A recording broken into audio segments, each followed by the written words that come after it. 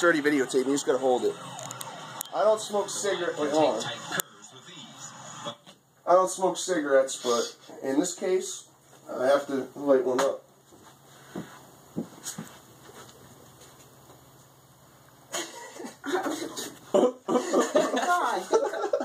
All right, Kristen. I mean, Thank you. Thank you for taking that video.